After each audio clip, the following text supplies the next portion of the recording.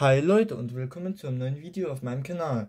Wir sind jetzt beim großen Preis von Frankreich in Le Castellet beim 12. Rennen der Saison mit, wie ihr seht, der Vertragserneuerung äh, oder Vertragsverhandlungen mit dem Teamkollegen und ich habe schon mal äh, nach Österreich gesagt, dass ich mir von Wassel auf jeden Fall für diese Hälfte noch behalte. Er hätte so verdient, auf jeden Fall noch länger als nur diese Saison zu fahren. Aber ich will halt trotzdem immer was Neues auch ausprobieren. Aber mal sehen. Auf jeden Fall für diese würde ich ihn von haben wollen. Aber er muss es auch mit sich zulassen. Also er kann auch von die Kontaktaufnahme ablehnen. Oder auch das, was ich ihm dann anbiete, auch ablehnen. Also gut, man muss sagen, mit, ich denke schon, dass die Kontaktaufnahme vielleicht ist. Ich meine, er ist Zweiter in der WM. Er hat mit Abstand das deutlich beste Auto. Oder ist ihm das zu gut, dass er gar nicht so will, so ein schnelles Auto, dass er Konkurrenz braucht, keine Ahnung. Auf jeden Fall, wir werden es versuchen, ihn zu verhandeln. Wenn es nicht klappt, dann keine Ahnung, wen wir dann nehmen. Ich habe mich darum keine Gedanken gemacht, weil, weil, weil ich ja was eigentlich behalten wollen würde. Aber mal sehen. Also eigentlich vom Auto her, von den Leistungen, müsste schon mal die Kontaktaufnahme, also müsste sich mit sich verhandeln lassen. Und ich würde da jetzt auch kein großes Risiko gehen das ist auch, vor allem das ist schon ganz schön, das ist schon ein deutlicher Unterschied. Also das kann er wirklich ablehnen. Ne? Das kann er auch ablehnen. Das habe ich schon in, für mich selbst herausgefunden, dass er das ablehnen kann.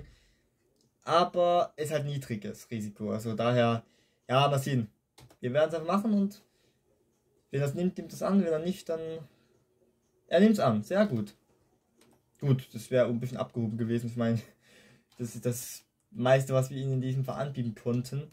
Okay, dann, ähm,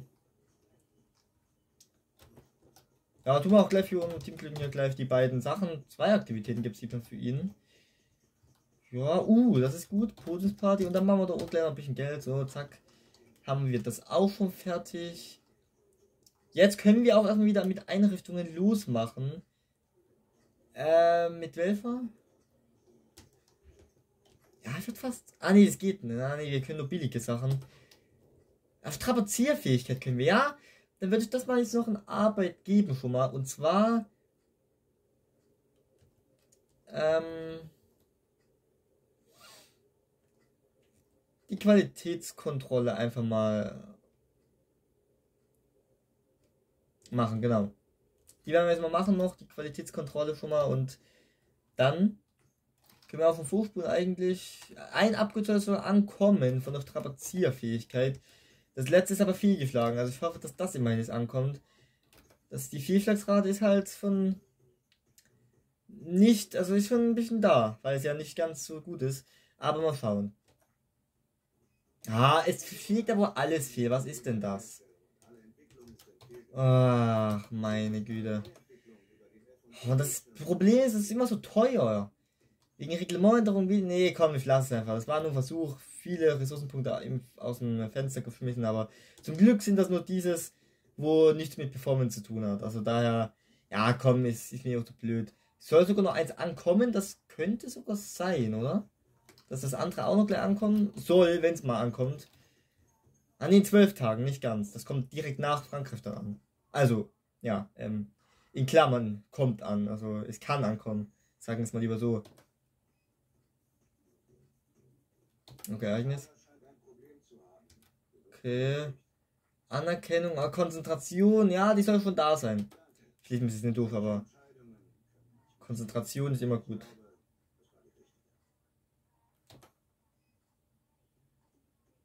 Podiumsparty.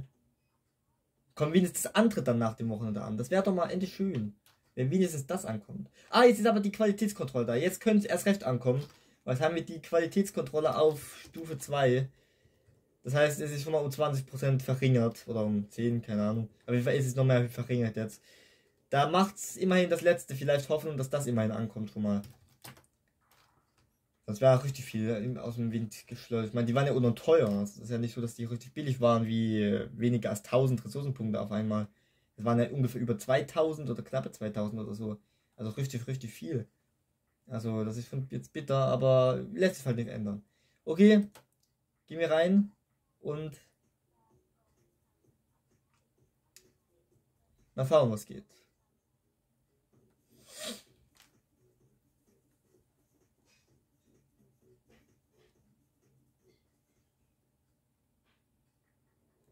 Uh, das Rennen soll sogar regnerisch werden. Das ist interessant. Also werden wir die Trainings schnell machen, nur die Ressourcenpunkte wieder. Weil die brauchen wir halt für die Reglementierung. Die werden, also zu, zu 99,9 oder zu 99% werden Reglementänderungen kommen. Und nur 1% vielleicht dieses Hoffnung nicht. Aber ich weiß halt nicht, wie teuer dann die Teile werden, wenn man sie retten muss. Wenn es richtig teuer wird, dann hm, haben wir vielleicht sogar immer noch zu spät angefangen. Beim letzten Mal hat es ja geklappt mit diesem. Mal sehen. Äh, es klappt wieder. Was ist denn das hier? Wir haben so viel Glück. Ja, aber das klappt niemals. Äh, also wenn das klappt jetzt. Ähm, was zum? Wie viel Glück kann man denn haben? Wir sparen uns schon wieder so viel jetzt. Ich mache nur die Ressourcenpunkte, ist ja klar, ne? Für die Reglementänderung. Für kommende, wahrscheinlich zu 99% kommende Reglementänderung.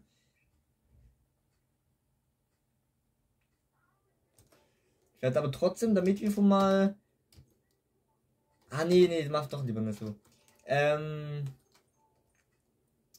Noch irgendwas vergessen? Äh, Komponenten erstmal gucken. Wie sehen die aus? Ah, die haben ja erst. Das ist schon ein bisschen älter, Energiespeicher, aber ich denke, der geht noch. Und das andere geht sowieso noch. Und das meiste ist neu und auch das geht gut noch. Das ist halt das älteste mit 49%, aber der Energiespeicher sollte noch gehen. Aber je länger, je weniger wir damit fahren, umso besser für den zweiten dann. Ne? Deswegen würde ich den noch ein Rennen auf jeden Fall fahren lassen. Und dann können wir jetzt endlich in das Qualifying rein. Erstmal gibt es die Ressourcenpunkte noch. Bestimmt über 800 wieder, schätze ich. Ja, 809. Ah, was ist mit. Ja, gut, immerhin mal wieder ein bisschen mehr. Also fast 400 ist doch ganz okay. Aber erstaunlich, seine Ressourcenpunkte sind gar nicht mal so gut, aber seine Leistung auf der Strecke sind bärenstark. Ich habe da immer das Gefühl, das hat immer was damit zu tun, wie gut, wie schlecht man dabei ist. Aber nein, anscheinend nicht.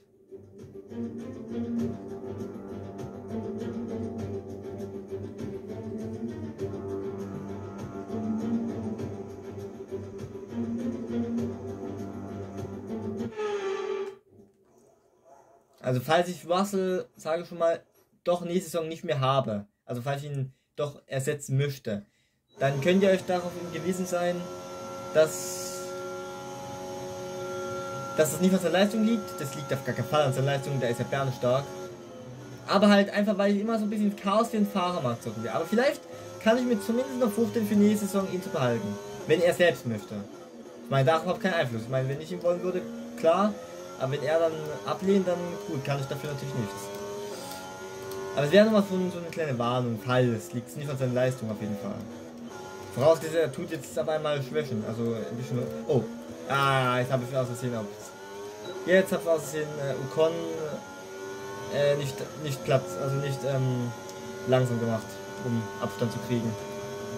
Na gut, wird schon irgendwie gehen, denke ich. Aha. Ah, diese Strecke jetzt, dass wir wieder klarkommen. Erstmal muss anbremsen ist.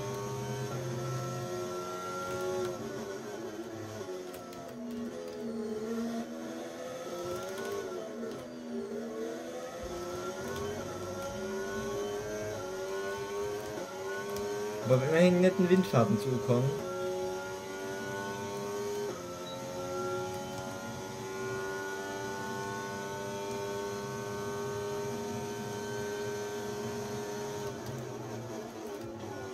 Auto bremst aber ganz schön hart, wenn man einmal bremst. Echt unglaublich. Bei meiner Red Bull-Karriere, die ich da für mich alleine habe, da kann man den Bull so in die Kurven reinbrettern mit so spät bremsen. Oder da kann man so spät, äh, so hart bremsen, wie man will und das Auto bremst trotzdem so, wie man bremsen soll. Aber wenn man hier bremst, dann fährt das Auto, bremst das Auto automatisch deutlich ab. Das ist ein bisschen komisch. Warum das bei meinem gerade so ist und bei der Fahrerkarriere, ne? Weiß ich, es war im letzten Spiel so, aber jetzt habe ich den auch noch vor mir. Ah, shit. Wird auch noch ein bisschen Zeit kosten jetzt. Da außen vorbei, man überholen wir auf einer Qualifying-Runde und wie außenrum vorbei. Und das in der Qualifying-Runde. Hat mir nicht mal zu viel Zeit gekostet, würde ich sagen. Mit 37. Ist das schlimm? Ich glaube, die beste Runde bisher lag bei deutlich langsamer.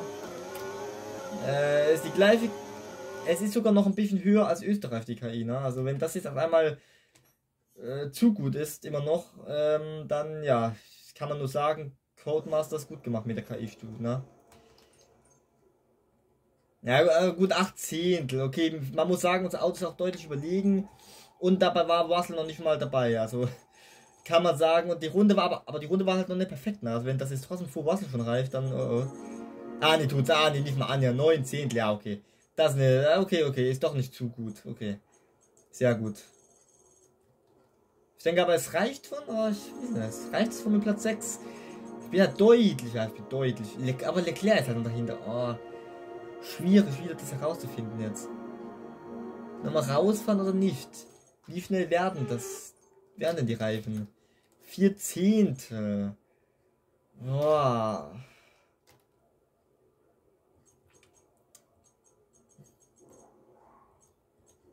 Und wenn das jetzt nicht reicht, na, dann ärgere ich mich selbst. Aber es ist schon über eine Sekunde. Na, ich fahre. Mit Gebrauchten aber. Da tue ich jetzt keinen nichts anmachen, also einfach auf die Strecke fahren, um einfach auch, dass die KI nicht die Sim Zeiten simuliert. Das ist das Problem nämlich dabei.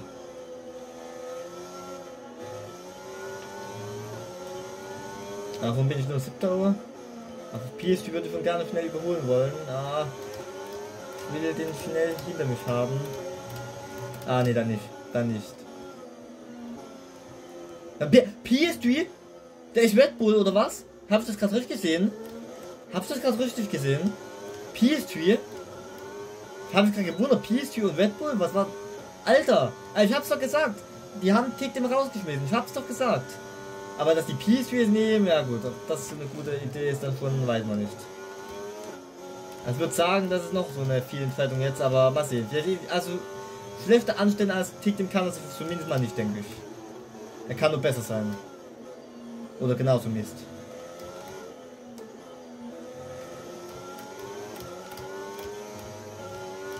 Aber auch mit diesen Reifen geht sogar wirklich noch etwas. Aber wenn es halt nur gebrauchte sind. Und es waren ein paar Fehler dabei, klar, deswegen geht noch was.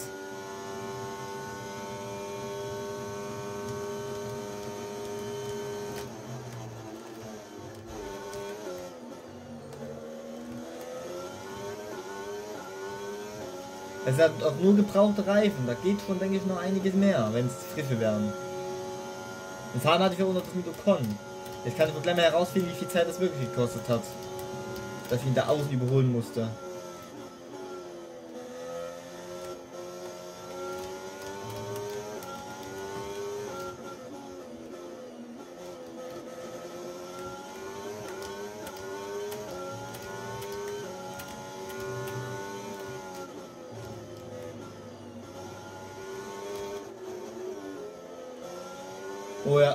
Schon viel Zeit gekostet, würde ich sagen.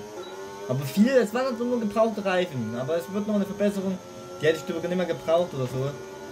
Ja, aber das kann sich mal sehen lassen. Für gebrauchte Reifen nochmal. Und Platz 2 sogar, hinter Russell damit. Aber der hat auch einen ganz schönen Vorsprung wieder. Es waren nur 14 Verbesserungen. 19 war es vorhin. Ja, aber das ist okay. Es waren gebrauchte Reifen nochmal. Und PS3 stellt sich vielleicht verbessern. Ich meine, Verstappen jetzt auch nur Sechster, also was sehen. Gibt es noch irgendeine andere Überraschung? Tickt Tick bei Alfa Romeo. Also der ist in der Formel geblieben, nur ist in einem Underdog-Auto mehr oder weniger. Und ist schon gleich mal Vorletzter geworden und wurde von seinem Teamkollegen Bottas komplett zerstört. Der ist zwar auch raus, aber eine halbe Sekunde ist trotzdem eine Welt. Wieder, also, ja, ähm, noch eine irgendeine Überraschung, die anders jetzt ist. Äh, nee, ich glaube, die haben nur. Aber Alfa Romeo, wer fuhr? Ach, PS-Tür und Tick haben getauft. Ah ja, da fuhr Alfa Romeo, stimmt. Okay, dann wird es wahrscheinlich nichts anderes an Änderungen geben. Aber warum die überhaupt Tick geholt haben? Gut, PS-Tür muss man sagen, der hatte schon eine halbe Saison hinter sich. Der ist zwar irgendwie immer noch Rookie jetzt, aber. Oder fuhr der schon letzte Saison? Ich weiß es gar nicht mehr, aber ist ja auch egal. Auf jeden Fall, ja, der hat immerhin jetzt schon ein bisschen Erfahrung vielleicht. Weil er schon eine halbe Sekunde definitiv gefahren ist. Aber Ticktim, der war ja komplett vorne von zwei kleinen Red Bull, also komplett dämlich. Also PS3 ist jetzt auch nicht so ganz clever, aber ich denke, schlechter als PS, äh, Ticktim kann der mal nicht sein. Er kann nur besser sein. Haben sie nicht gesagt, dass Red Bull in, in diese Saisonhälfte rausschmeißt? Da hat sich absolut nicht verdient, dort zu fahren. Muss man ganz klar so knall sagen. Und P-Street ist witzigerweise wieder vor mir. Jetzt wie schon im zweiten Wand von Q1.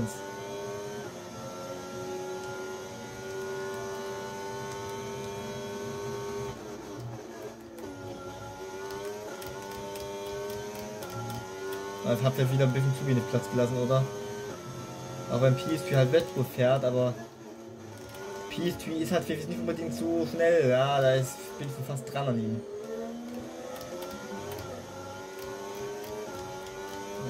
Wieder so dumm gemacht. Oh Mann, ich bin aber zu blöd gerade. Ich denke immer, das ist ein guter Abstand.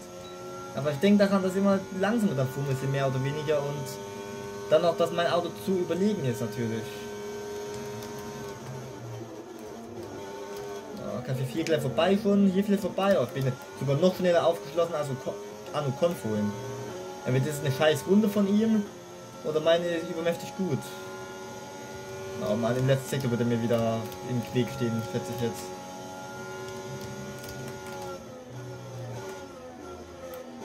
Hier noch nicht. Aber jetzt. Jetzt in dieser Kurve. Aber wir außen hier, ja. Außen hier vorbei. Boah, Alter. Der, als ob der parken würde. Ist ja unglaublich einfach. Tut mir leid, dass ich die Zeit gekostet habe, aber du hast mir auch Zeit gekostet, würde ich sagen. Aber es war wirklich eine fehlerfreie Runde. Und das Duell war auch ganz gut jetzt. Also ich habe ich hab den überholt, der war so weit hinter mir. Also was ist das für eine Runde? Alter, eine 1, 29, 8. What? Boah.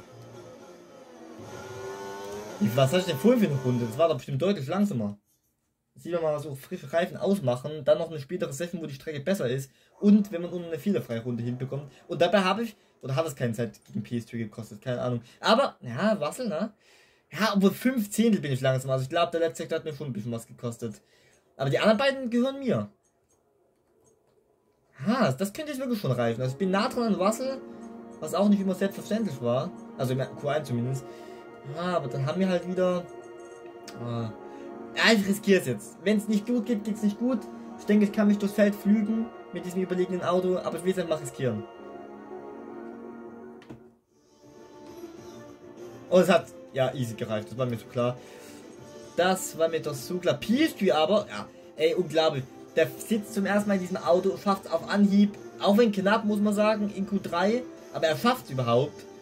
Und äh, Tickdem hat es in keinem seiner Rennen Qualifiers jemals in Q3 geschafft. Also da ist PSG jetzt schon mal besser als er. Im Qualifying zumindest. Also, ja. Unglaublich. Es sind nur 10 mit mir halt, also 9 andere. Das werde ich das doch irgendwie mal hinbekommen, mal nicht irgendwie zu nah an jemanden dran zu sein. Come on. Das muss doch wohl gehen. Wenn das jetzt nicht geht, dann äh, drehe ich durch. Eigentlich habe ich glaube niemanden vor mir, oder?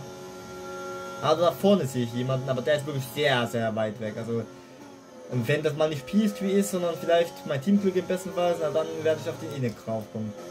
Ah ne, es ist Mercedes. Mein Teamglück ist dann noch davor. Ich denke, das ist guten Vorsprung, oder? Ich denke kaum, dass... Obwohl, ein bisschen abreißen trotzdem lassen, komm. Ein bisschen Schwung auch noch holen, so jetzt aber. Aber wenn ich auf die Mercedes noch ankomme, aufschließe, dann lese ich wohl nicht mehr weiter.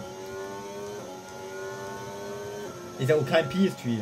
Ist ja jetzt. Nein, jetzt kommt der Ferrari. Ah, okay, da macht er Platz. Wenigstens. Das war gut.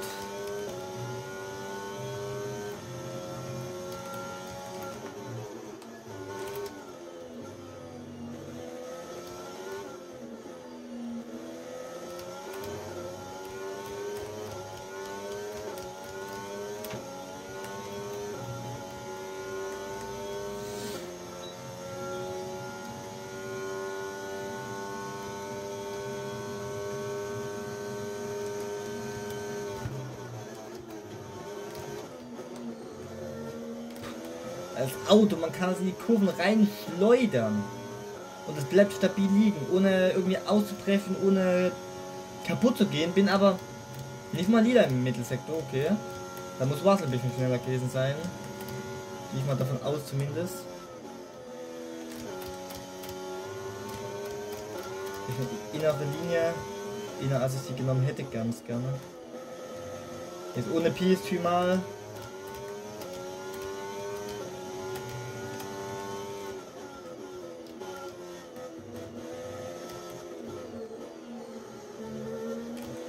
war auf jeden Fall jetzt eine sehr gute Runde. Fehlerfrei würde ich sagen. Und auch ohne Verkehr diesmal. Und es reicht für die Bestzeit. What? Für Russell. Oh meine Güte, geiles Ding.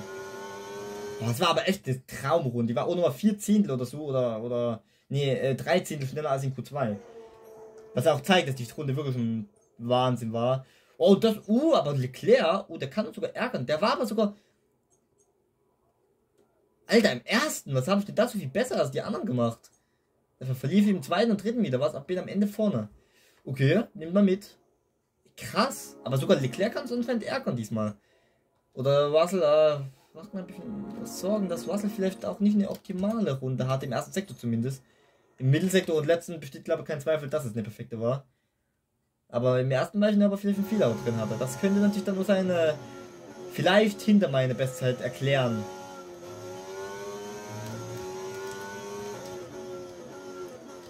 Ich bin der Letzte, der wieder über die Linie geht natürlich. Mal sehen, ob Russell sich nochmal steigen kann. Sonst könnte es die Pol sein. Oder Leclerc kann sich steigern. Oder ein anderer, Seins Verstappen, wer weiß, wie weit die weg waren. Aber meine muss halt auch noch mal perfekt werden, denke ich. Als bestimmt werden die sich verbessern. Vielleicht.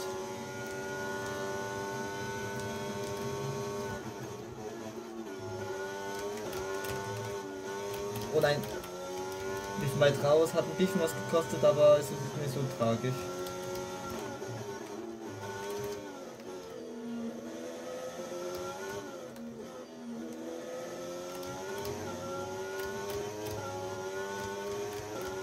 Na, ich bin zu langsam. Ja, es war von der erste Sektor war nicht top. Der war nicht perfekt.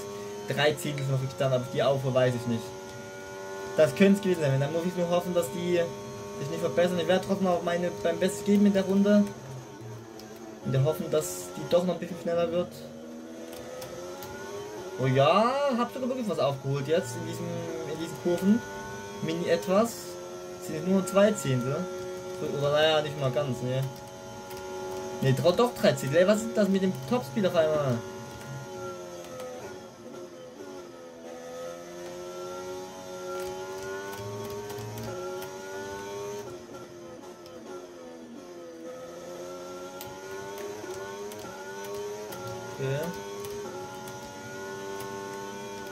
Das war die Pol. Das ist die Pol. Das ist doch die Pol schon sogar. Haben sich nicht mehr verbessert. Aber ich werde die Runde verbessern. Das war viel zu schlecht, die Runde. Aber es ist die Polen. Niemand hat sich verbessert. Also, wow. War aber echt eine gute Runde, die erste. Also echt eine super Runde, die erste. Also, habe ich schon gedacht, dass da wird nicht viel mehr drin sein, habe ich mir schon gedacht. Also, das war echt eine sehr gute Runde. Das Qualifying ist beendet und wir werfen noch einmal einen Blick auf unsere Top 3. Der Goldjunge, Leclerc und George Russell. Damit ist das Qualifying rum, aber keine Sorge, wir sind morgen zurück mit dem eigentlichen Grand Prix. Also es sieht so aus, als ob die Ferrari uns heute ärgern könnten. Es sieht so aus. Aber das wird sich halt dann zeigen. Aber trotzdem sehr schön so. Aber wahrscheinlich werden uns nur die Ferrari ärgern können. Verstappen ist dann doch ein bisschen zu weit weg. Und die anderen, und was hat Liam gemacht, äh, Quatsch, was hat Oscar gemacht, keine Ahnung. Aber auf jeden Fall hat er schon mal in Q3 geschafft. Er hat da keine perfekte Runde erwischt, man weiß es ja nicht. Also Russell war nicht sogar auf 2, also das war schon eine Überraschung. Ist das sogar Leclerc jetzt sogar noch vor Russell ist. Aber meine war echt perfekt.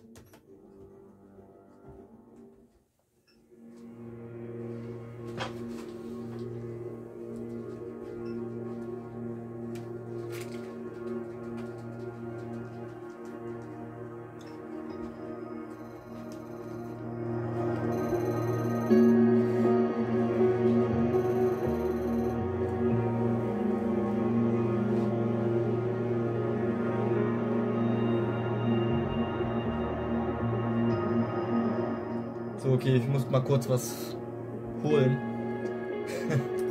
okay. Okay, das war's jetzt. Sorry für die, wie gesagt, sorry für die Funkstille oder für die Stille gerade. Aber das war's jetzt. Oh ja, auf dem Regensaison noch. Oh, das könnte interessant werden. Das. Oh ja, okay. Dann aber jetzt bis zum nächsten Mal beim Rennen dann. Mit, mal sehen, mit Regen, mit nicht Regen, mal sehen. Bis zum nächsten Mal und ciao.